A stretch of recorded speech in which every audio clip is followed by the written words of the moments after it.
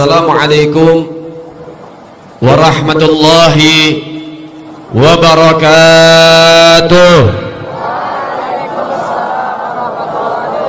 Bismillah walhamdulillah. Wassalatu wassalam ala rasulillah Sayyiduna Muhammad ibn Abdullah Wa ala alihi wa sahbihi wa man wala. Rabbi israh li sadri wa yasir li amri Wahlul uqdatan min lisani yafqahu qawli. Amma ba'd. Alhamdulillah Yang sama-sama kita muliakan, kita hormati, kita kagumi dan juga kita cintai. Dari segenap para asatid, para alim ulama, para masyayikh Para tokoh-tokoh masyarakat, para muallim, para mudaris, para tuan-tuan guru yang insya Allah senantiasa diberkahi oleh Allah diridhai oleh Allah dirahmati oleh Allah dicintai oleh Allah subhanahu wa ta'ala yang mana mereka adalah pewaris baginda Nabi Muhammad sallallahu alaihi wasallam kama kala Nabi Muhammad sallallahu alaihi wasallam innal anbiya lam yuwarithu dinaran wala dirhaman fa innahum yuwarisul ilmah al ulama warasatul anbiya man akramal ulama faqad akramallah wa rasulah. Sesungguhnya para nabi dan para rasul tidak meninggalkan dinar dan dirham tidak meninggalkan emas dan perak. Mereka para ambia meninggalkan ilmu karena pangkat ilmu derajat ilmu lebih tinggi dari segala sesuatu sesungguhnya mereka para ulama mereka adalah peninggalan baginda Nabi Muhammad. Mereka adalah penerus Sayyiduna Muhammad. Mereka adalah dari para pejuang-pejuang Sayyiduna Muhammad sallallahu alaihi wasallam man akramal ulama faqad akramallah wa rasulah. Dan siapa orang yang memuliakan ulama menghormati ulama mencintai ulama sungguh-sungguh mereka telah menghormati Allah dan juga Rasulnya wa aksu begitu juga sebaliknya. Siapa orang yang benci dengan ulama yang tidak hormat dengan ulama maka sungguh mereka juga telah benci kepada Allah dan Rasul. Na'udzubillah thumma na'udzubillah.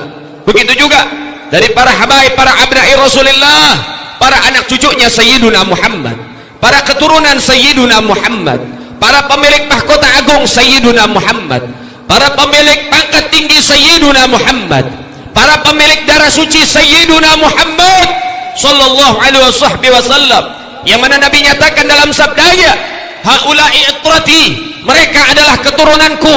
Mereka adalah anak cucuku. Mereka adalah durriyatku. Khalika min tinati. Mereka diciptakan oleh Allah dari tanahku.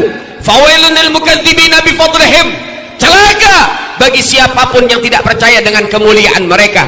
Celaka bagi siapa pun yang mendustakan kemuliaan mereka celaka bagi orang-orang yang kurang ajar dengan mereka. Man ahabbahum ahabbah Allah siapa yang cinta dengan duriat Nabi Muhammad mereka juga akan dicintai oleh Allah. Wa man abgadahum abgadah Allah dan siapa juga yang membenci keluarga baginda Nabi Muhammad siapa pun mereka mereka juga akan dibenci oleh Allah subhanahu wa ta'ala. Maka mudah-mudahan kita yang ada di tempat ini secara keseluruhan mudah-mudahan Allah hidupkan kita dengan penuh cinta dengan keluarga baginda Nabi Muhammad yang kecintaan kita akan mutasil kepada baginda Rasulullah akan bersambung kepada Nabi Muhammad sallallahu alaihi wasallam. Begitu juga yang sama-sama kita muliakan dari para abad pemerintah setempat baik dari TNI-nya, dari Polri-nya, dari sipilnya, dari perangkat desanya, semua yang berkecimpung dalam perayaan kali ini, kita doakan mudah-mudahan senantiasa diberkahi oleh Allah, diridhai oleh Allah, diberikan petunjuk oleh Allah, diistiqomahkan oleh Allah Subhanahu wa taala. Jazakallah, terima kasih banyak kepada segenap keluarga besar Pondok Pesantren Nurul Falah. Mudah-mudahan pondok pesantren ini menjadi pondok pesantren kebanggaan Sayyiduna Muhammad. Santri-santrinya santriwan santriwatinya semoga mereka jadi kebanggaan Rasulullah jadi penerus perjuangan Rasulullah dan menjadi orang yang istiqamah berjuang di jalan baginda Nabi Muhammad sallallahu alaihi wasallam saudara yang dimuliakan oleh Allah segala puji bagi Allah Al-Malik Al-Ahad Al-Fardus Samad Alladhi lam yalid wa lam yulad segala puji bagi Allah. Tuhan yang Maha Esa yang Maha Tunggal. Dan dialah Allah Subhanahu wa taala. Zat yang Maha Pengasih lagi Maha Penyayang. Yang memberikan kasih dan sayangnya kepada hamba-hamba yang mengemis kepadanya. Yang memberikan petunjuk kepada hamba-hamba yang dicintainya. Dan dialah Allah subhanahu wa ta'ala. Zat yang maha kuasa zat yang maha mampu atas segala sesuatu ia katakan jadi maka semua akan terjadi. Idza arada syai'an ayyakula lahu kun fayakun. Itulah Allah subhanahu wa ta'ala. Salawat teriring salam. Terus kita berikan dan curahkan secara khusus dan istimewa kepada hadratir rasul imamuna qudwatuna sayyiduna Muhammad. Sayyiduna Muhammad. Sayyiduna Muhammad sallallahu alaihi wasallam bi afdali salawat wa ta'zim. Saudara yang dimuliakan oleh Allah subhanahu wa ta'ala sama-sama kita dikumpulkan oleh Allah di dalam satu titik yang menjadi sumber rahmat Allah subhanahu wa ta'ala. Yang malam ini kita yakin Allah ta'ala menghujani kita dengan rahmatnya dengan ridhonya dengan karunianya dengan cintanya dengan kasih sayangnya. Yang insya Allah mudah-mudahan yang hadir ke tempat ini bahwa hajat-hajatnya dikabulkan oleh Allah subhanahu wa ta'ala yang datang ke tempat ini punya dosa-dosanya diampuni oleh Allah subhanahu wa ta'ala. Yang datang ke tempat ini punya masalah-masalahnya disingkirkan oleh Allah subhanahu wa ta'ala. Waqala Rasul sallallahu alaihi wasallam ad-dunya mal'unun wa mal'unun ma fiha. Dunia ini dilaknat oleh Allah. Dunia ini dikutuk oleh Allah. Dan semua yang ada di dalamnya dikutuk dan dilaknat oleh Allah subhanahu wa ta'ala. Illa zikrullah kecuali orang-orang yang mengingat Allah yang menyebut nama Allah yang meninggikan asma'nya yang mensucikan zatnya. Allah subhanahu wa ta'ala. Mereka orang-orang yang mendapatkan rahmat dari Allah subhanahu wa ta'ala. Wa dan para ulama yang istiqamah mengajarkan ilmu agama menegakkan amar ma'ruf nahi munkar yang senantiasa istiqamah meninggikan kalimat la ilaha illallah Muhammadur Rasulullah sallallahu alaihi wasallam wa muta'allimun. Dan para santri para pencari ilmu para pelajar mereka lah orang-orang yang diberikan karunia oleh Allah diberikan rahmat oleh Allah subhanahu wa ta'ala. Man salaka tariqan yaltamisu fihi ilma sahalallahu lahu bihi tariqan ila jannah. Siapa orang yang ringan langkah kakinya untuk menghadiri majlis-majlis yang semacam ini. Majlis-majlis ilmu. Majlis-majlis yang mendekatkan kepada Allah. Maka orang itu akan dipermudah oleh Allah subhanahu wa ta'ala. Jalannya kelak dia melgiamah untuk masuk ke dalam surga Allah subhanahu wa ta'ala. Saudara yang dimuliakan oleh Allah subhanahu wa ta'ala di tempat ini juga kita berkumpul. Di dalam kegiatan Muharram yang luar biasa. Muharram adalah bulan yang agung bulan yang mulia bulan yang istimewa bulan yang mendapatkan keistimewaan dari Allah subhanahu wa ta'ala. Min ashurul hurum daripada bulan-bulan yang diagungkan oleh Allah subhanahu wa ta'ala. Kama Allah subhanahu wa ta'ala fil Quran Bismillahirrahmanirrahim.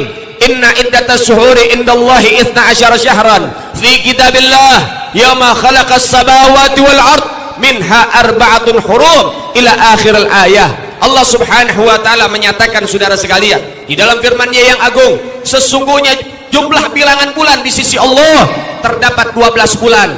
Fi kitabillah telah ditetapkan oleh Allah subhanahu wa ta'ala. Kalau sudah ditetapkan oleh Allah tidak ada satupun tangan yang mampu merubahnya. Sepintar apa pun peneliti secanggih apa pun teknologi tidak ada yang dapat menambah satu bulan ataupun mengurangi satu bulan. Karena telah ditetapkan oleh Allah subhanahu wa ta'ala. Kapan? Yauma khalaqas samawati wal ard. Semenjak Allah menciptakan langit dan bumi Allah telah menetapkan hanya ada 12 bulan yang berlaku. Minha arba'atun huruf.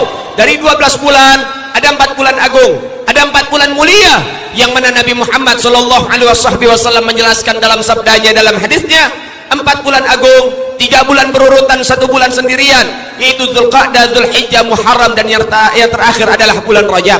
Saudara yang dimuliakan oleh Allah subhanahu wa ta'ala Muharram termasuk salah satu bulan yang diagungkan oleh Allah Subhanahu wa taala yang mana Allah Subhanahu wa taala memberikan daripada bantuannya memberikan penyelamatan kepada hamba-hamba Allah kekasih-kekasih Allah Subhanahu wa taala yang dikatakan dan diceritakan Nabi Allah Adam taubatnya diterima oleh Allah tepat pada tanggal 10 bulan Muharram. Ketika Nabi Adam membawa kesalahan memakan buah khuldi dari surga diturunkan ke muka bumi maka beliau sujud kepada Allah selama 100 tahun. Sebagian riwayat mengatakan 350 tahun. Ketika sujud perlinang air mata tobat kepada Allah subhanahu wa ta'ala. Namun belum kunjung tobatnya diterima oleh Allah subhanahu wa ta'ala. Namun ketika tepat pada tanggal 10 bulan Muharram tepat pada tanggal 10 bulan Muharram Nabi Allah Adam mendapatkan ilham dari Allah subhanahu wa ta'ala. Satu doa yang dengan doa itu akhirnya diterima tobatnya Nabi Allah Adam oleh Allah subhanahu wa ta'ala. Apa doa daripada doa tersebut? Doanya adalah Allahumma gfirli bihaqi Muhammadin ila gafartani ya Allah dengan kemuliaan pemilik nama Muhammad. Ampuni kesalahanku ya Rabb Nabi Allah Adam Nabi Allah Adam bertawassul dengan Rasulullah sehingga tobatnya diterima oleh Allah subhanahu wa ta'ala. Coba anda bayangkan saudara-saudara sekalian satu kesalahan satu dosa ditebus dengan 100 tahun sujud belum kunjung tobatnya diterima oleh Allah subhanahu wa ta'ala. Tinggal anda hitung berapa dosa yang kita miliki saudara sekalian?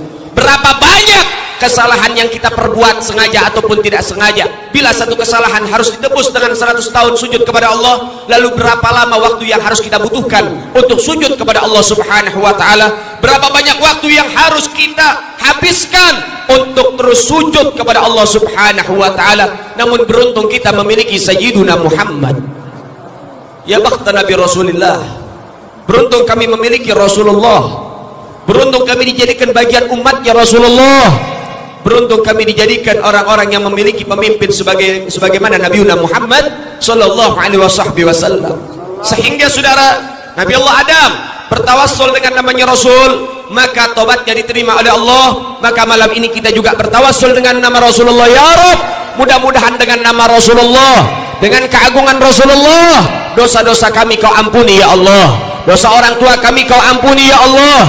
Dosa ulama kami kau ampuni ya Allah dosa umat Nabi kau ampuni ya Allah. Dosa para pejabat kau ampuni ya Allah. Dosa para aparat kau ampuni ya Allah. Ya Rabb ampuni kesalahan-kesalahan kami ya Allah. Lalu kemudian saudara yang kedua yaitu Nabi Allah Nuh ketika ditimpa banjir bandang yang menghabisi seluruh umat manusia yang mana hanya orang-orang yang ikut di dalam perahunya Nabi Allah Nuh yang diselamatkan oleh Allah subhanahu wa ta'ala. Banjir bandang yang menyelimuti negeri saudara sekalian itu banjir berbulan-bulan. Nabi Allah Nuh di atas perahu diombang-ambingkan oleh air. Selama beberapa bulan saudara sekalian surut itu air hilang itu musibah. Tepat pada tanggal 10 bulan Muharram saudara. Lalu kemudian yang berikutnya Nabi Allah Yunus ketika terkurung di dalam perut ikan selama 40 hari 40 malam yang mana tiga kegelapan dia rasakan. Kegelapan malam kegelapan perut ikan dan kegelapan dalamnya samudra tiga kegelapan menjadi satu dirasakan oleh Nabi Allah Yunus. Namun akhirnya dikeluarkan oleh Allah dari perut ikan. Diselamatkan tepat pada tanggal 10 bulan Muharram. Nabi Allah Ibrahim ketika menegakkan amar ma'ruf nahi munkar melawan kezaliman ketika menghancuri daripada kemusyrikan. Nabi Allah Ibrahim akhirnya dilemparkan oleh Namrud di atas kobaran api yang begitu dahsyat besar. Luar biasa. Berbulan-bulan itu api membakar Nabi Allah Ibrahim. Namun Allah memerintahkan api untuk menjadi penyelamat Ibrahim. Ya narukuni bardan wassalaman ala Ibrahim. Hi api jadilah kau dingin jadilah kau sejuk dan menyelamatkan kepada hambaku Ibrahim. Maka sifat api yang yang yang mana panas berubah menjadi dingin. Kenapa? Taat kepada Allah subhanahu wa ta'ala. Reda itu api keluar Nabi Ibrahim. Selamat. Tepat pada tanggal 10 bulan Muharram saudara. Luar biasa bagaimana Allah menyelamatkan kekasih-kekasihnya. Maka kita minta juga kepada Allah ya Rab dengan kemuliaan Muharram dengan keagungan Muharram dengan kemuliaan Ashura tanggal 10 bulan Muharram ya Rab selamatkan Indonesia dari musibah ya Allah. Selamatkan negeri kami dari musibah ya Allah. Selamatkan negeri kami dari kekacauan ya Allah. Ya Rabbana ya Karim ya Rabbana ya Rahim bijahin Nabil Karim. Saudara yang dimuliakan oleh Allah Subhanahu wa taala namun ada perintah dari Allah Subhanahu wa taala. Di dalam kelanjutan ayat tersebut fala tadlimu fihinna anfusakum. Jangan sekali-kali kau mendolimi dirimu di dalam bulan-bulan tersebut jangan kau menyiksa dirimu dalam bulan-bulan tersebut. Dari apa kau siksa dengan kemaksiatan yang kau lakukan? Maka tinggalkan hal itu. Jauhi hal itu. Jauhi kemungkaran. Jauhi kemaksiatan. Jauhkan itu semua. Semata-mata kau harus tobat kepada Allah subhanahu wa ta'ala. Tagarrub kepada Allah subhanahu wa ta'ala. Saudara yang dimuliakan oleh Allah subhanahu wa ta'ala kita perhatikan saudara-saudara sekalian. Berbagai macam musibah menimpa kita punya negeri saudara sekalian bukan sekali dua kali namun bertubi-tubi menghantam kita punya negeri yang kita cintai ini saudara sekalian. Sehingga haruslah diingatkan ada di tempat ini akan firman Allah subhanahu wa ta'ala yang Allah nyatakan dalam firman-Nya wa ma asabakum bi musibatin fabimat kasabat aydikum. Dan adapun musibah yang menimpa kepada kalian itu semua atas ulah tangan-tangan kalian sendiri tangan-tangan kita yang membuat musibah itu datang ke dalam negeri kita tangan kita yang membuat Allah murka kepada kita. Maka sebab itu tangan siapa yang membuat kemurkaan Allah tumpah yang membuat musibah menghantam kita punya negeri? Tangan-tangan kemaksiatan tangan-tangan kezaliman tangan-tangan daripada mereka orang-orang yang zalim terhadap daripada manusia yang lain dan juga orang-orang yang jauh dari Allah Subhanahu wa taala. Maka oleh sebab itu jadikan ini malam sebagai malam taubat kepada Allah Subhanahu wa taala. Tubana ilallah bitaubatin nasuha. Kami taubat kepadamu ya Rabb dengan sebenar-benarnya tobat. Saudara yang dimuliakan oleh Allah Subhanahu wa taala, tidakkah kau menangis melihat ibu pertiwi terus dihantam dengan musibah silih berganti? Tidakkah kau menjerit ketika negeri yang kita cintai ini? Warisan dari leluhur kita yang mana diwarisi dari daripada darah dan air mata dari leluhur-leluhur kita yang mana mereka berjuang mati-matian buat Indonesia. Ketika ini terjadi kekacauan di mana-mana maka oleh sebab itu sekarang waktunya kita bersatu. Jangan bercerai-berai jangan buat malu leluhur kita. Sekarang waktunya kita bersatu. Ayo kita bangun lagi Indonesia dengan baik umaroknya takdim dengan ulama ulamanya perhatian dengan umarok rakyatnya cinta terhadap umarok rakyatnya cinta terhadap ulama patut terhadap ulama sehingga ketika terjadi keharmonisan saudara sekalian terjadi daripada kebersamaan umaroknya bakti sama ulama umaroknya cinta sama ulama umaroknya taat sama ulama umaroknya betul-betul cinta sama ulama insya Allah negerinya bakal makmur saudara sekalian. Tapi kalau umaroknya jahat sama ulama umaroknya dolim sama ulama. Umaroknya dolim terhadap rakyat. Maka jangan harap kau mendapatkan daripada keberkahan dan jangan harap kau mendapatkan daripada kebahagiaan dan ketenangan di dalam negeri-negeri kalian. Ketika para ulama ketika mereka para orang-orang pewaris-pewaris Rasulullah mereka mulai dikriminalisasi dan lain sebagainya. Namun insya Allah mudah-mudahan hal itu akan sirna dari Indonesia dan insya Allah Indonesia akan harmonis kembali saudara sekalian. Saudara-saudara yang dimuliakan oleh Allah subhanahu wa ta'ala saudara Indonesia ini ada. Merdeka bisa kita rasakan. Itu atas perjuangan daripada kebersatuan kita daripada kebersamaan kita. Semua rakyat bersatu dikomandokan oleh para ulama sehingga akhirnya leluhur kita bisa sukses mendapatkan kemerdekaan saudara. Kemerdekaan Indonesia tidak terlepas dari jasa para ulama tidak terlepas dari jasa para santri tidak terlepas dari jasa orang-orang yang cinta dengan negeri saudara sekalian yang berjuang habis-habisan berjuang mati-matian jatuh bangun keluar masuk hutan. Mereka backgroundnya adalah para ulama. Kita nggak boleh buta akan sejarah. Kita tidak boleh bodoh akan sejarah. Kita rakyat Indonesia harus tahu betul daripada sejarah Indonesia. Merdeka kita bisa rasakan atas perjuangan siapa atas kerja keras siapa? Atas pengorbanan siapa? Ternyata sejarah mencatat dengan tinta emas saudara sekalian. Dengan tinta keabadian. Apa kata sejarah saudara-saudara sekalian? Lihat berbagai macam. Para pejuang-pejuang kita ternyata background mereka adalah seorang ulama-ulama yang hebat saudara. Jenderal Sudirman seorang jenderal yang tangguh. Seorang jenderal yang begitu hebat. Seorang jenderal yang berjuang dengan tegar dengan sabar dengan begitu mantap saudara sekalian. Ternyata Jenderal Sudirman adalah sosok kiai ada dari Jogja saudara. Jenderal Sudirman kiai. Jenderal Sudirman muallim. Jenderal Sudirman adalah seorang pejuang saudara sekalian. Di Jogja Jenderal Sudirman setiap hari mengajar anak-anak kecil untuk memperkenalkan huruf hijaiyah supaya bisa membaca kalam Allah Al-Quranul Karim. Pagi dan sore mengajarkan kaum kaum bapak dan kaum ibu di dalam ilmu fikih, ilmu hadis, ilmu tafsir dan ilmu-ilmu yang lain dalam bidang agama saudara.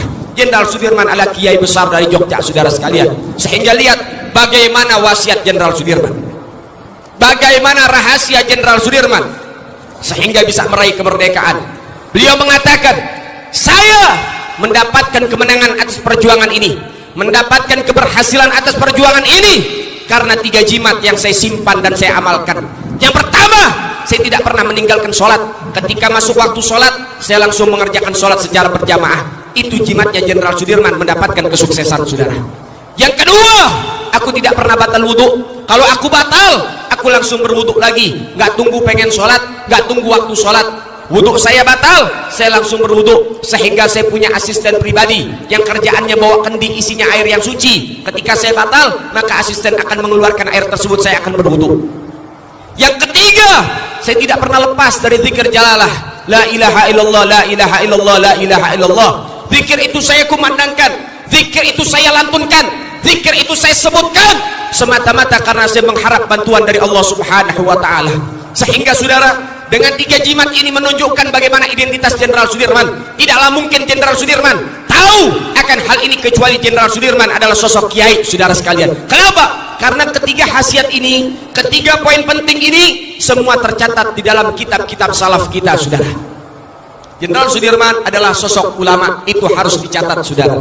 Seorang jenderal yang tangguh seorang panglima perang ternyata ulama besar yang dimiliki oleh Indonesia saudara.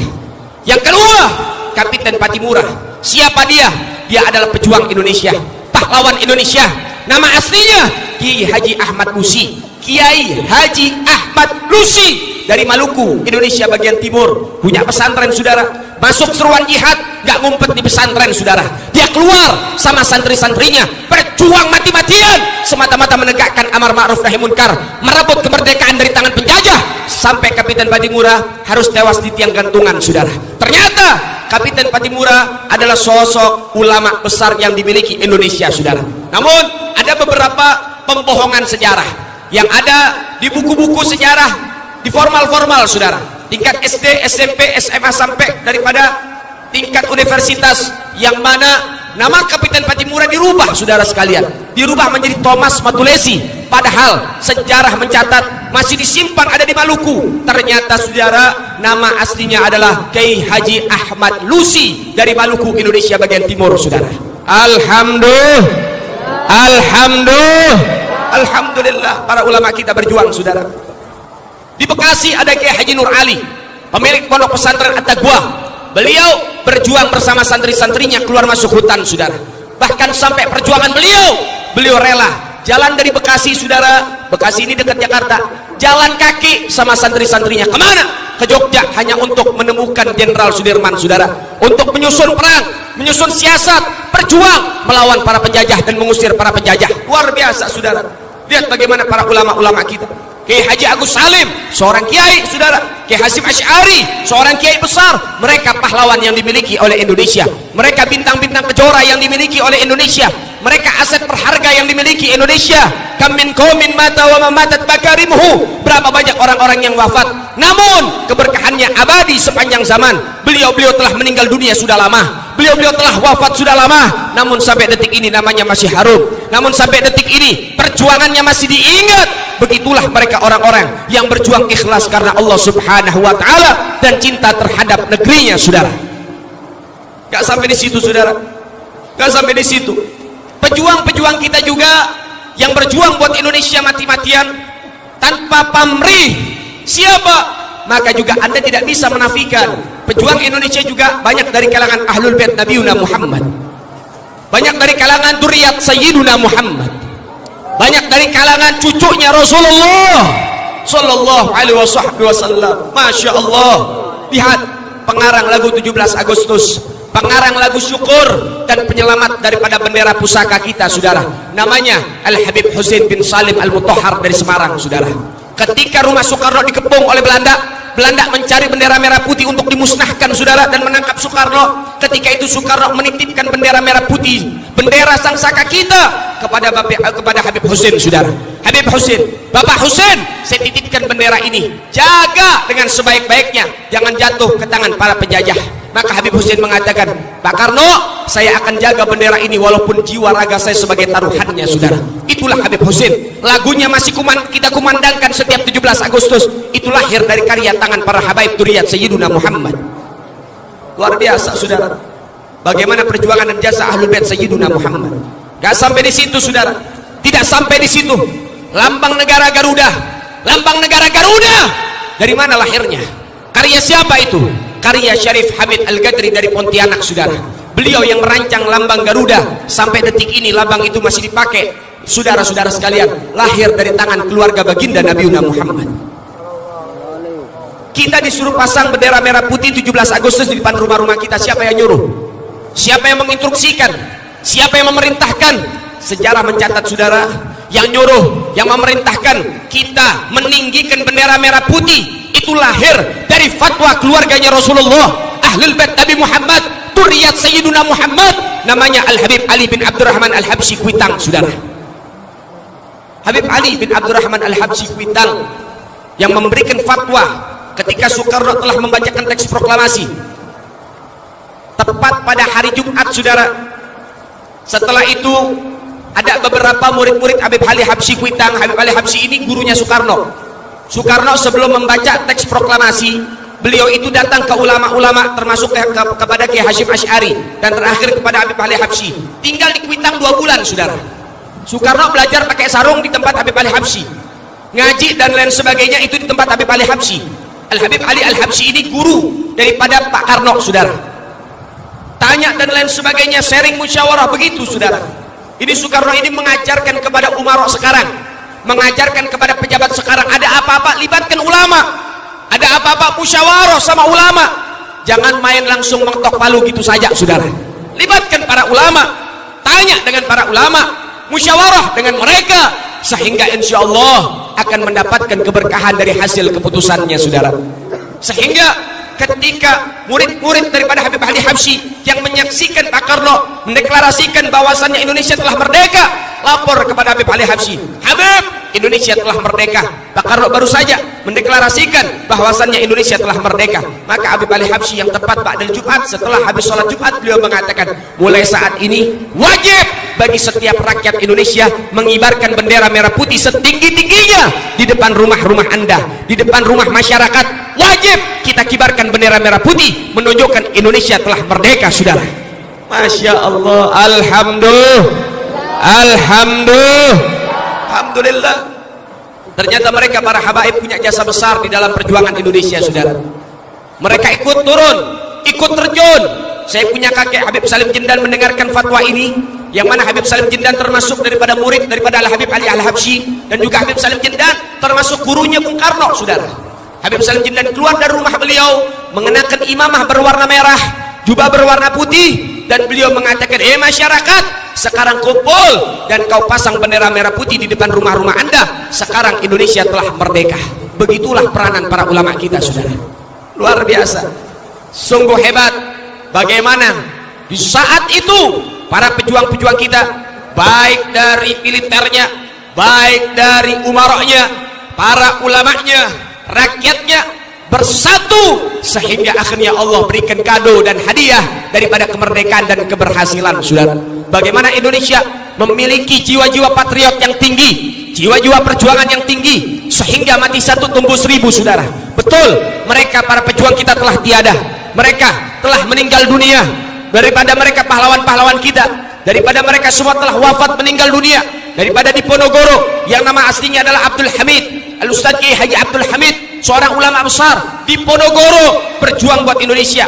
Pahlawan Indonesia di Ponorogo adalah jabatannya. Karena beliau panglima besar sehingga julukannya adalah di Ponorogo diambil dari dua suku kata. Pertama bahasa Arab yang kedua bahasa Jawa saudara. Tipe dari kalimat dafa'ayat fau. Artinya menolak negoro artinya negara. Artinya menolak negaranya akan penjajahan. Dan juga membentengi negaranya dari penjajahan. Begitulah di Ponorogo berjuang mati-matian buat Indonesia. Daripada Imam Bonjol yang nama aslinya adalah Muhammad Syahabuddin keluarganya Rasulullah turiat Rasulullah dari kalangan bin Syahab. Mereka telah meninggal dunia mereka telah wafat. Namun yang namanya perjuangan ini belum mati perjuangan ini belum berhenti perjuangan ini belum selesai. Wajib kita jaga Indonesia saudara sekalian. Wajib kita jaga Indonesia. Apa pun taruhannya Indonesia harus tetap berdiri tegak berdiri tegar dan menjadi negara yang ditakuti di antara negara-negara yang lain. Saudara yang dimuliakan oleh Allah subhanahu wa ta'ala Lihat bagaimana mereka perjuangan para ulama kita. Wala tahsabanna alladzi qutilu fi sabilillahi amwata bal ahya'u inda rabbihim yurzaqun. Allah nyatakan dalam firman-Nya, jangan sekali-kali kau berpikir orang-orang yang meninggal di jalan Allah mereka meninggal begitu saja. La, tidak saudara sekalian. Bal ahya'u inda rabbihim yurzaqun akan tetapi mereka tetap hidup abadi di sisi Tuhan mereka dan diberikan rezeki yang khusus oleh Allah Subhanahu wa taala. Arwahnya Wali Songo, arwah di Ponorogo, arwah Imam Bonjol, arwah di daripada Jenderal Sudirman, arwahnya Kapiten Patimura, arwah Cut Nyakdin, arwah pahlawan-pahlawan kita masih mengelilingi Indonesia Saudara, masih memonitor Indonesia, masih menyaksikan Indonesia. Mereka nggak rela Indonesia dilecehkan Saudara. Mereka nggak rela Indonesia hancur Saudara. Maka oleh sebab itu ayo teruskan perjuangan mereka. Jangan sia-siakan darah suci mereka yang telah tumpah buat Indonesia ayo amanah perjuangan telah sampai ada di atas pundak anda. Tongkat estafet perjuangan telah sampai di tangan-tangan anda. Mau tidak mau siap tidak siap mampu tidak mampu suka tidak suka bisa tidak bisa. Teruskan perjuangan ini sampai tetes darah penghabisan saudara. Saudara yang dimuliakan oleh Allah subhanahu wa ta'ala. Tadi saya katakan Indonesia ini negeri pejuang negeri pahlawan. Masih banyak pejuang-pejuang yang masih hidup. Mati satu tumbuh seribu. Ketika mereka para pejuang yang dahulu telah meninggal dunia timbul pejuang-pejuang baru. Generasi terus menerus akan terus ada melanjutkan perjuangan leluhur kita. Ketika mereka telah tiada masih ada daripada pahlawan-pahlawan kita. Kita nggak bisa menafikan saudara sekalian. Salah satu pahlawan yang saat ini masih hidup. Dan saya sebagai saksi perjuangannya saya sebagai saksi daripada pengorbanannya perjuangannya nyata dan terasa pahlawan kita yang masih hidup. Namanya adalah Al-Habib Muhammad Rezek bin Hussein bin Syihab pejuang Indonesia pahlawan Indonesia yang kita banggakan saudara sekalian Masya Allah rindu sama Habib Rezek rindu sama Habib Rezek rindu sama Habib Rezek yakin beliau pejuang. Yakin beliau pejuang. Yakin beliau pejuang. Semua angkat tangannya takbir! Takbir! Allahu Akbar! Allahu Akbar! Sallu ala Muhammad. Saudara yang dimuliakan oleh Allah subhanahu wa ta'ala. Bung Tomo mengatakan saudara Kalau tidak ada kalimat merdeka dan kalimat takbir Aku tidak tahu bagaimana cara membangkitkan semangat anak-anak muda saudara. Ternyata dari zaman dulu diakui Kalimat takbir yang mengantarkan daripada perjuangan Indonesia Sampai dalam puncak kesuksesan saudara. Dengan kalimat takbir itulah Indonesia bisa merebut kemerdekaan saudara sekalian. Dengan kalimat takbir itulah yang mengantarkan Indonesia dapat merebut kemerdekaan dari tangan penjajah saudara. Maka sebab itu saya katakan dari saat ini jangan pernah tahan lisanmu di dalam bertakbir di jalan Allah subhanahu wa ta'ala. Jangan tahan lisanmu ketika menyuarakan takbir. Jangan pernah tahan lisanmu untuk menyuarakan takbir. Jangan tahan lisanmu untuk meninggikan takbir. Jangan tahan lisanmu untuk menggemakan takbir. Jangan tahan lisanmu untuk meninggikan kalimat Allahu Akbar. Allahu Akbar. Akbar Sallu ala Muhammad. Luar biasa. Saudara yang dimuliakan oleh Allah subhanahu wa ta'ala. Saya bukan orang FPI saudara. Saya bukan termasuk keluarga besar FPI saudara. Tapi saya cinta mati sama FPI saudara. Kenapa? karena betul-betul nyata dan terasa bahwasannya bagaimana perjuangan FPI buat Indonesia nyata dan terasa saudara. Ketika tsunami ada di Aceh saudara FPI tumpah ke Aceh membantu daripada kawan-kawan dan saudara-saudara kita yang tertimpa musibah saudara. Dari TNI membantu dari polisinya membantu dari Satpol PP nya membantu bahkan dari negara-negara lain membantu saudara. Namun Laskar FPI yang tidak diliput oleh media yang tidak pernah kesentuh media ternyata saudara sejarah mencatat masih tercatat di dalam buku dan arsip FPI saudara sekalian dan juga di dalam arsip-arsip yang lain saudara bahwasannya ketika terjadi tsunami di Aceh yang menghabiskan berair ratusan ribu nyawa ternyata saudara sekalian Laskar FPI yang jumlahnya 1300 orang dipimpin oleh Habib Rizik selama enam bulan saudara. Ternyata berhasil mengevakuasi 100 ribu mayat saudara. Dan itu nggak diliput oleh media saudara. Dan itu tidak tercium oleh media. Begitulah daripada sepak terjang FPI saudara. Jadi kalau misalnya FPI dibubarkan FPI nggak rugi saudara. Kalau FPI dilarang dan lain sebagainya FPI nggak rugi beban mereka enteng saudara. Kenapa? Amanah telah terlepas. Namun yang rugi Indonesia saudara. Yang rugi rakyat. Karena akhirnya apa? Kita kekurangan tenaga-tenaga yang lillah wa fillah untuk berjuang buat Indonesia saudara sekalian. Maka oleh sebab itu jangan termakan media. Kejadian di Jogja kejadian gempa di mana-mana merapi di mana-mana puting beliung dan lain sebagainya padang dan lain sebagainya dari Sabang sampai Maroke FPI tidak pernah absen di dalam membantu mengevakuasi saudara. Membantu membangun rumah-rumah warga membantu mereka semua tidak pernah absen. FPI berjuang mati-matian saudara sekalian. Luar biasa. Dan tidak tersentuh oleh media. Tidak tercium oleh media. Dan tidak pernah diungkap oleh media saudara. Kenapa? karena FPI berjuang dari hati nurani bukan untuk popularitas bukan untuk sekedar pencitraan saudara. Maka sebab itu saudara yang dimuliakan oleh Allah subhanahu wa ta'ala untuk untuk untuk Indonesia punya FPI dan punya Habib Rizik saudara. Maka kita doakan mudah-mudahan Allah Ta'ala memberkahi FPI saudara. Dan Allah Ta'ala memberkahi ormas-ormas Islam yang lain saudara. Dan semoga Allah Ta'ala memberkahi Habib Rizik menjaga Habib Rizik melindungi Habib Rizik. Dan insya Allah mudah-mudahan dalam waktu dekat Habib Rizik bisa kembali ke tanah air dengan selamat saudara. Amin ya Rabbal. Amin ya Rabbal. Alamin. FPI gak punya musuh saudara. FPI gak punya musuh. TNI bukan musuh FPI tapi mitra FPI polisi bukan musuh FPI tapi mitra FPI Saudara-saudara sekalian, FPI tidak punya musuh. Musuh FPI hanya kemaksiatan dan kemungkaran, saudara. Itulah musuh FPI. Itulah musuh pebuyutan FPI, saudara.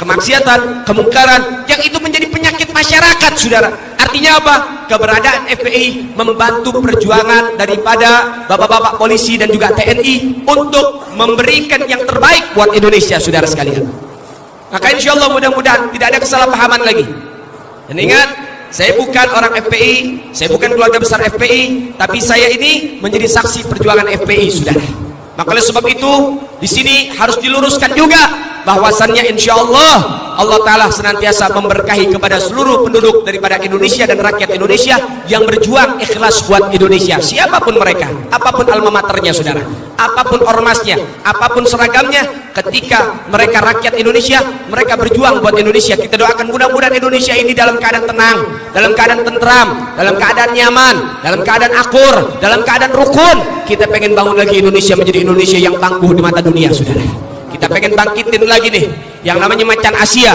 Kita pengen bangkitin lagi nih Raja Wali supaya tinggi. Garuda harus terbang tinggi. Tidak ada yang boleh menjatuhkannya saudara. Insya Allah mudah-mudahan Allah Ta'ala kasih berkah buat kita semua. Amin ya Rabbal alamin saudara yang dimuliakan oleh Allah Subhanahu Wa Ta'ala itulah sejarah Indonesia yang tidak boleh kita lupakan. Yang harus kita ingat baik-baik. Artinya saudara ayo ciptakan keharmonisan. Kita harus bersinergi saling bahu membahu saling sokong menyokong saling bergandengan tangan. Semuanya tidak ada yang boleh dipropaganda. Tidak ada yang boleh dibenturkan satu sama lain. Kita bersaudara. Kalau kita tidak dipersaudarakan secara agama kita dipersaudarakan secara negara saudara. Artinya kita semua yang ada di Indonesia apa pun rasmu, sukumu, agamamu kau Indonesia, aku Indonesia kita semua adalah keluarga saudara. Sampai sini paham gak kira-kira? Paham gak kira-kira? Maka ciptakan keharmonisan dengan baik saudara. Ciptakan daripada kenyamanan dan kebersamaan dengan baik. Yang insya Allah mudah-mudahan membawa keberkahan buat Indonesia. Amin ya rabbal saudara yang dimuliakan oleh Allah subhanahu wa ta'ala begitu juga harus saya sampaikan saudara pentingnya pondok-pondok pesantren saudara. Pentingnya daripada menjadi seorang santri dan seorang ulama. Jangan jauh-jauh dari ulama. Jangan-jangan jangan jauh-jauh dari ulama saudara. Dekat sama ulama. Kalau pengen berkah yang dekat sama ulama Nabi bilang saudara-saudara sekalian apa saya di zaman ala umat bakal datang satu zaman menimpa kepada umatku? Yang mana umatku nanti akan jauh dari para ulama. Benci sama ulama. Gak demen hadir majlis taklim gak demen hadir majlis-majlis ilmu. Mereka akan jauh dari para ulama. Kemudian kalau sudah jauh apa Allah kirim tiga macam musibah. Yang pertama yarfailul barakah min kasbim Allah cabut berkah dari penghasilan mereka. Kerja banting tulang. Kerja banting tulang kerja di kantor iya kerja sama orang iya all shop iya ojol iya diborong semua pekerjaan. Utang numpuk uang habis saudara. Turun gaji cuma numpang lewat di dompet saudara. Habis gitu nggak kerasa kenapa? Berkahnya dicabut sama Allah Ta'ala. Uang habis utang belum habis. Nah itu tanda bahwasannya apa? Kita jauh sama ulama. Sekarang waktunya dekat sama ulama. Kemudian siksa yang kedua apa Yursulullah sultan zaliman. Allah kirim nanti pemimpin-pemimpin zalim saudara. Dari berbagai macam aspek. Di rumah juga ada pemimpin saudara. Bukan hanya di daerah desa, kampung dan lain sebagainya. Rumah kita juga punya pemimpin. Kullukum ra'in wa kullukum mas'ulun an ra'iyatih. Setiap diri kalian adalah pemimpin dan setiap pemimpin akan diminta pertanggungjawaban oleh Allah Subhanahu wa taala. Kamu jauh dari ulama, suami bakal durhaka, suami bakal zalim, suami bakal bejat saudara. Kamu jauh dari ulama, istri bakal bangkang. Kamu jadi jauh dari ulama anak-anak bakal kurang ajar saudara. Itu sudah jelas. Nabi bilang suami adalah pemimpin bagi anak dan istrinya.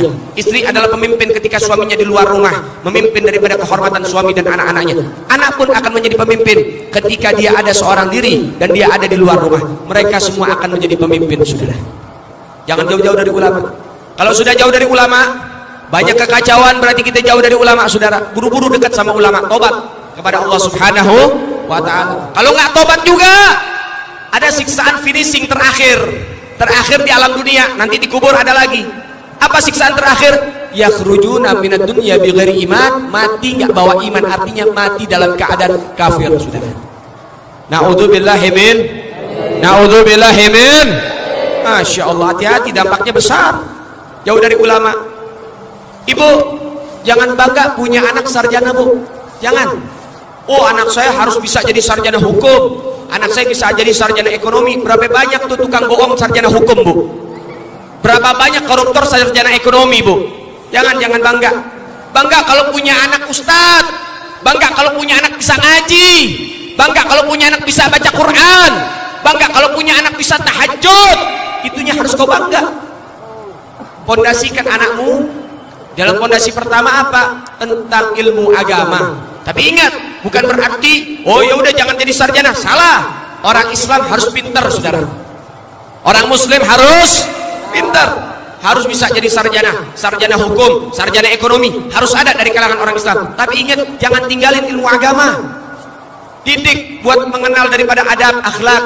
Didik untuk mengenal Rasulullah. Dekatkan sama ulama. Jangan jauhin dari ulama. Jangan batasin dia mencari ilmu agama Allah. Jangan dukung dia support dia untuk bisa dekat dengan para ulama ketika dia punya imannya kuat ilmu agamanya mantap dia jadi sarjana hukum dia jadi lawyer, dia jadi pengacara, jujur di jalan Allah Subhanahu wa taala. Dia mantan santri, dia pernah jadi santri, dia pernah jadi penuntut ilmu agama Allah, dia punya iman kuat, dia jadi sarjana ekonomi, dia nggak bakal korupsi, Saudara. Fondasi pertama harus fondasi keagamaan.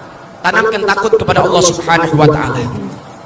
Kalau ibu menjauhkan anak-anak ibu dari para ulama, ibu jauhkan dari ilmu agama, Ibu jauhkan dari majlis taklim. Hati-hati Bu, hati-hati. Sekarang ini kemungkaran di mana-mana. Kehancuran di mana-mana. Kebejatan dan kejahatan di mana-mana. Kriminalitas terus meningkat di mana-mana, Saudara. Baik, saya akan sebutkan beberapa kasus yang ada di Indonesia. Ibu dengarkan baik-baik, Bapak dengarkan baik-baik. Hati-hati. Ini kasus bahaya. Kejadian di Malang, seorang anak membakar hidup-hidup ibu kandungnya sampai hangus terbakar, Saudara Tahu gara-gara apa bu? Sepele. Gara-gara anaknya minta uang 10 ribu nggak di, di, diberikan. Gak dikasih. Uang A untuk apa? Buat beli miras oplosan. Artinya nyawa seorang ibu tidak lebih berharga dari uang 10 ribu saudara. Baik kurang puas. Baik saya kasih tahu lagi kasus yang berikutnya. Sulawesi Selatan tempatnya daerah Goa. Seorang anak menggorok leher bapak kandungnya sampai putus. Tahu gara-gara apa? Karena tidak diberikan izin buat pesta miras bersama kawan-kawannya, saudara kurang puas juga baik di daerah Bekasi di daerah Bekasi Jawa Barat seorang anak menggorok leher bapaknya sampai mati tahu gara-gara apa? karena bapaknya tidur ngorok saudara Ustaz tidurnya jangan ngorok Ustaz hati-hati udah ada kasusnya ini. anak gorok bapaknya gara-gara ngorok hati-hati yang tidur ngorok sekarang hati-hati. Ya baik-baik itu pisau pinggirin dulu. Khawatir khawatir. Itu borok yang terakhir nanti saudara ya ini kasus benar loh. Ini kasus nyata. Di Purwakarta Jawa Barat seorang anak mengkampak kepala bapak kandungnya.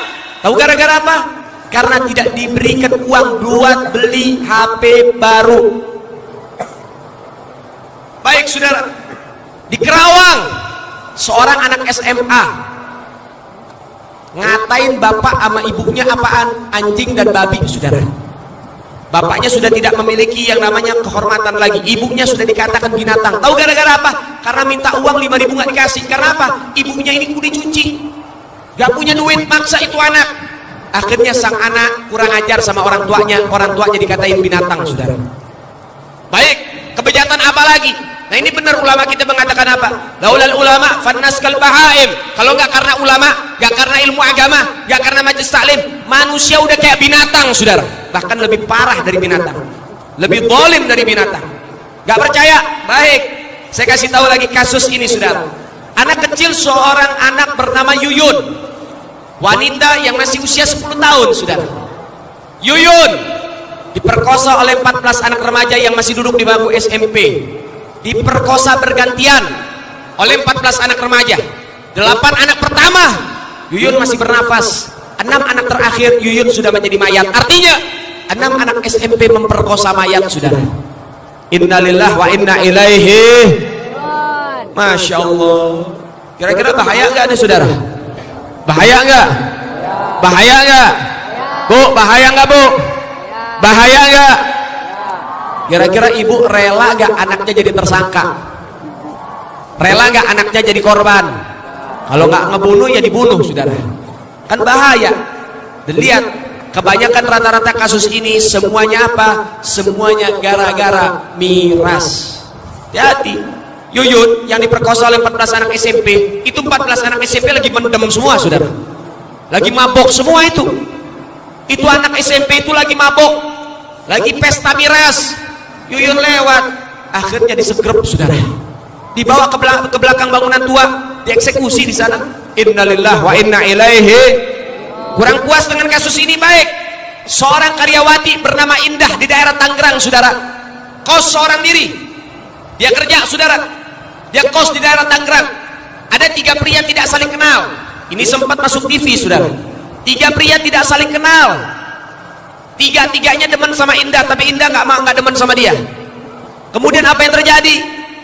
Ketiga orang ini datang ke kos-kosan Indah secara serempak namun tidak janjian. Tiga-tiganya datang kebetulan datang barengan. Kemudian akhirnya saling cerita satu sama lain mereka semua suka sama Indah tapi Indah nolak saudara lalu kemudian akhirnya bertiga ini menyusun rencana pemerkosaan saudara. Akhirnya apa yang terjadi? Indah diperkosa oleh tiga orang remaja ini saudara. Dan yang paling tragis setelah diperkosa leher Indah dicangkul sampai hampir putus. Dan gak sampai di situ batang cangkulnya dimasukkan ke kemaluan Indah sampai merobek jantung dan parunya saudara. Kira-kira kejam gak deh saudara? Kejam gak? Kejam gak? Innalillah wa inna ilaihi dan tiga orang ini dalam keadaan mabuk saudara. Lihat pemerkosaan gara-gara miras. Pembunuhan gara-gara miras. Perzinahan gara-gara miras. Hilang akal sehat gara-gara miras. Kurang ajar sama ibu gara-gara miras. Kurang ajar sama bapak gara-gara miras saudara. Dan miras adalah penyakit masyarakat. Beb itu jauh di Malang. Beb itu jauh di Sulawesi. Eh Bangka juga punya miras saudara. Lah iya kalau nggak percaya ada dari Bapak TNI, ada dari Bapak Polisi, ada dari Satpol PP. Silakan tanya sama beliau-beliau. Bagaimana miras yang berkembang ada di Bangka?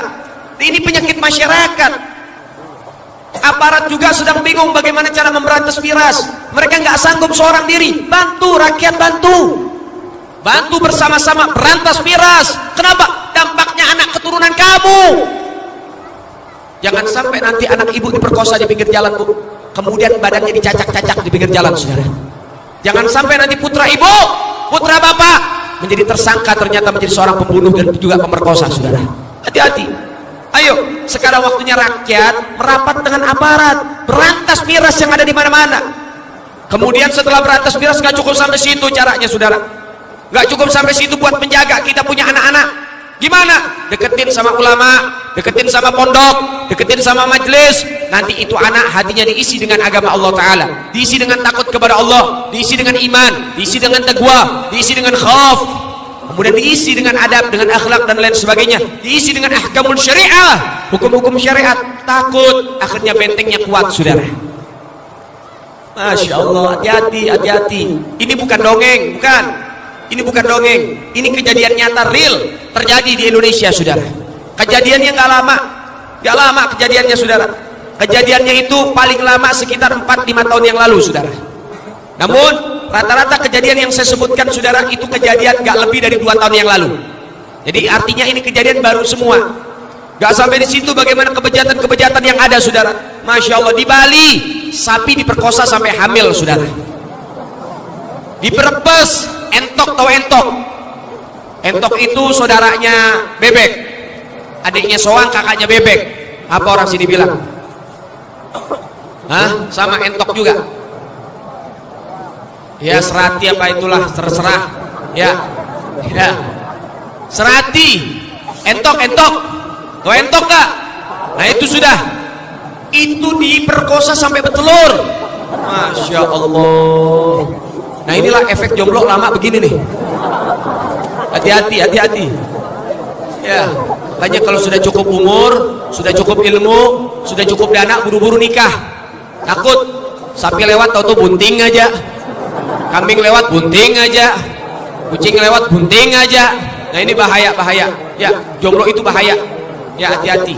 Punya dana buruan nikah, jangan jomblo lama-lama belumut nanti.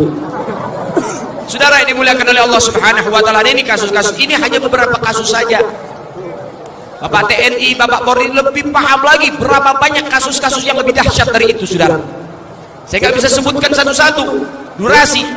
Namun saudara dimuliakan oleh Allah cukup kasus yang saya sebutkan menjadi salah satu rem yang pakem dalam diri-diri Anda untuk supaya bisa menjaga keluarga besar Anda, Saudara. Maka sebab itu apresiasi setinggi-tingginya saya berikan kepada pemerintahan wilayah Bangka yang sudah memiliki yang namanya satu gebrakan baru membuat perayaan hari jadi digabungkan dengan pondok-pondok pesantren digabungkan dengan acara-acara kegiatan keagamaan yang semacam ini. Nah inilah salah satu daripada upaya untuk supaya umat hatinya kuat dengan iman dan takwa saudara. Sehingga mudah-mudahan dari pemerintahan Bangka Belitung insya Allah bisa menjadi inspirasi untuk secara nasional dari Sabang sampai Maroke kegiatan ini bisa menjadi kegiatan yang diridhoi oleh Allah subhanahu wa ta'ala. Insya Allah ke depannya akan meriah lagi ke depannya akan lebih berkah lagi ke depannya akan lebih besar lagi. Insya Allah mudah-mudahan ini bisa kita lestarikan sampai anak keturunan kita sampai yaumul qiyamah. Insya Allah amin ya rabbal. Saudara yang dimuliakan oleh Allah subhanahu wa ta'ala begitulah keadaan kita saat ini. Maka dari poin pentingnya saudara pertama, jangan pernah melupakan sejarah, jangan pernah meragukan bagaimana kecintaan duriat Nabi dengan Indonesia. Jangan pernah kau ragukan dan kau pertanyakan bagaimana kecintaan kami dengan NKRI. Gak usah dipertanyakan lagi kenapa karena semua telah terbukti. Yang kedua, jangan pernah tinggalin pesantren dan ilmu agama. Jangan tinggalin ulama dan majelis-majelis ilmu. Jangan, jangan tinggalin kalau kau pengen hidup berkah dunia sampai akhirat. Yang ketiga, ciptakan keharmonisan baik dari aparatnya, dari pemerintahannya, dari umaroknya, dan ulamanya serta rakyatnya ciptakan keharmonisan buat menjaga Indonesia secara utuh dan kebersamaan saudara. Insyaallah mudah-mudahan Allah Ta'ala kasih barokah buat kita semua. Allah angkat balak dan musibah dari Indonesia. Allah jaga Indonesia dengan sebaik-baik penjagaan. Insyaallah mudah-mudahan Allah Ta'ala memberikan barokah fid dini wa dunia wal akhirah. Amin ya rabbal. Amin ya rabbal. Amin ya rabbal saya pengen tanya Mora Bangka bisa solawatan nggak? Bisa solawatan nggak? Bisa ngeluarin suara? Mau ngeluarin suara? Betul, betul. Baik kita munajat kepada Allah dengan solawat badar yang pertama untuk rindu kita kepada Habib Rizik mudah-mudahan bisa kembali. Yang kedua untuk supaya kita tawasul dengan ahli badar para ulama kita mengatakan siapa orang yang tawasul dengan para syuhada di badar apa pun hajatnya akan dikabulkan oleh Allah Subhanahu wa taala. Amin ya rabbal begitu juga saya minta tolong nih kira-kira boleh nggak diminta tolong nih? Minta tolong boleh nggak? Boleh nggak? Saya punya pesantren di Bekasi. Pesantren saya di Bekasi Alhamdulillah sudah ada 48 santri. Yang mana keseluruhannya mau kaya mau miskin mau yatim mau tidak yatim semua gratis saudara. Gak dipungut biaya. Pondok saya tidak dipungut biaya sama sekali. Ya gratis total. Dan juga makan tiga kali sehari kami berikan Bangunan baru kami persediakan dan persiapkan semata-mata untuk supaya membibit generasi selanjutnya untuk bisa menjadi generasi yang betul-betul dibanggakan oleh Allah dan Rasul. Dan kami nggak punya donatur, donatur kami cuma satu, Allah Subhanahu wa taala. Jadi apa artinya Saudara? Kadang-kadang dari hadiah-hadiah orang memberikan ke saya dari ceramah dan sebagainya itu buat santri. Itu buat makan mereka, buat daripada bayar listrik dan lain sebagainya. Sehingga saya minta izin sama panitia Memang biasanya kami begitu. Kadang-kadang kami solawatan, kami juga galang dana. Yang pengen nyumbang buat pesantren, buat makan anak-anak santri yang ada di Bekasi, itu kita buka kesempatan. Kita nggak bisa jadi santri, minimal kita bisa jadi orang yang dukung santri, saudara. Sehingga insya Allah hidup kita dunia sampai akhirat disukseskan sama Allah Subhanahu Wa Taala. Dan catat baik-baik. Uang yang anda keluarkan 2000, 5000, 10000 buat membantu pesantren-pesantren model kayak begini, membantu santri-santri, nggak buat anda miskin, tapi buat anda kaya. Kenapa? Karena uang itu akan jadi umpan nanti. Akan jadi umpan yang akan apa? Yang akan memberikan kepada kalian kembaliannya dari Allah Ta'ala. Dilipat gandakan sama Allah Ta'ala. Enggak, enggak buat anda rugi, enggak buat anda miskin, saudara. Tapi ingat juga, yang bisa nyumbang bukan orang yang punya uang, tapi orang yang punya kemauan yang dipilih sama Allah Subhanahu wa